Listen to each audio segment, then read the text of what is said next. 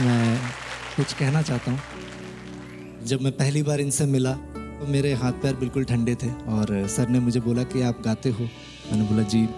और मैं बहुत ही भाग्यशाली हूँ कि इतने बड़े कलाकार ने मुझे इतना बड़ा मंच दिया। मैं कोशिश करता हूँ सर के जैसा गाने की, पर मुझे पता है काफ़ी मेहनत मुझे करनी है। जब मुझे ये गाना मिला सर तो मैं सबसे पहले ये सोच रहा था कि गुरुजी का गाना है, कुछ गलती ना हो जाए मुझसे।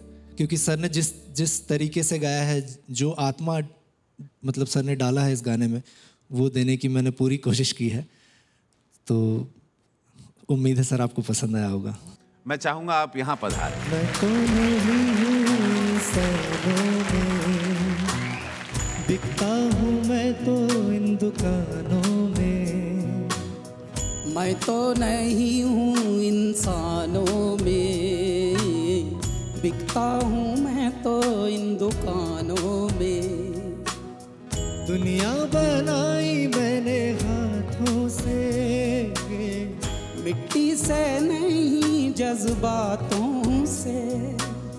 फिर रहा हूँ ढूंढता मेरे निशान।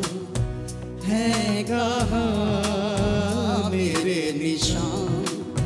है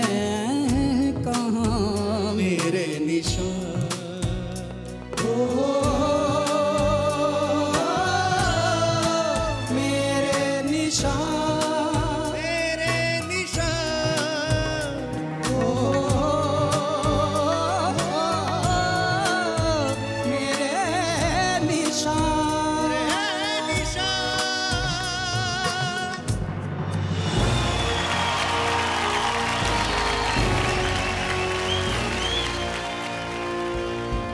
स्वर्ण स्वर भारत जी टीवी और जी फाइव